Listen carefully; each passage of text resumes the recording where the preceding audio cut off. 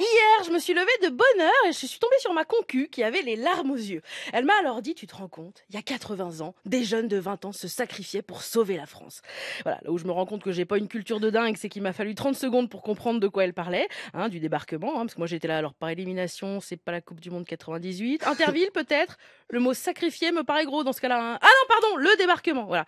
Et vu son état émotionnel, je me suis demandé si pour elle aussi, comme il y a 80 ans, les Anglais ne s'apprêtaient pas à débarquer, parce que je la trouvais bien émotive de si bon matin. Mais finalement, j'ai rien dit car je suis féministe et aussi je tiens à la vie finalement. Alors, on, on connaît plein d'histoires de résistance, mais moi, ma préférée, elle date de 1940 à Jersey, qui commence euh, à l'époque à être occupée par des Allemands.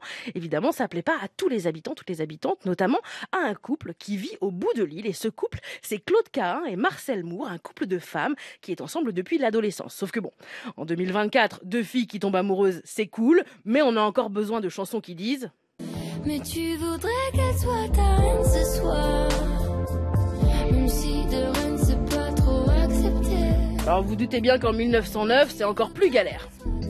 Mais tu voudrais qu'elle soit ta reine ce soir. Même si de reine, c'est pas vraiment, alors pas du tout, c'est pas du tout accepté quoi. Alors adulte, elle devient, je suis hyper contente d'avoir chanté devant Bilal Hassani vraiment avec ma voix euh, douce, c'est formidable. Alors adulte, elle devient artiste sous des noms d'hommes, elle s'installe à Jersey et quand les Allemands arrivent, Marcel et Claude décident de résister, oui, mais à leur manière, c'est-à-dire de manière poétique et artistique. L'idée, c'est pas de poser des bombes, c'est de démoraliser les Allemands. Voilà, qui pensent qu'ils vont perdre, qui a un traître parmi eux? Et pour ça, Claude et Marcel font des tracts qui disent cette guerre, elle est sans fin. Alors il y a beaucoup de tracts, hein. précisément, elles en font euh, 6000 en 4 ans. Et moi, je trouve ça génial et en même temps pervers à la fois, parce qu'en fait, c'est résister mais sans blesser personne physiquement.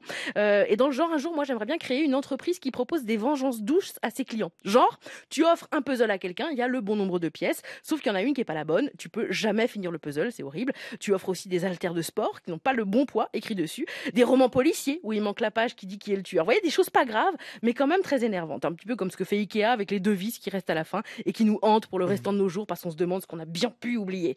Bref, pour démoraliser les Allemands, elles laissent des tracts partout, dans leurs poches, dans les sacs, dans leurs cendriers, entre les pages des magazines, dans les boutiques, sur les murs, dans les boîtes de tabac neuves, etc. Elles inventent des histoires aussi, des codes qui veulent rien dire et qui donc sont indéchiffrables, hein, puisque ça veut rien dire, et produisent tellement de tracts que les Allemands pensaient que c'était une énorme organisation avec plein de gens. Alors pareil, il y a eu une autre idée de génie. Elles ont piqué des bouteilles de champagne vides aux Allemands.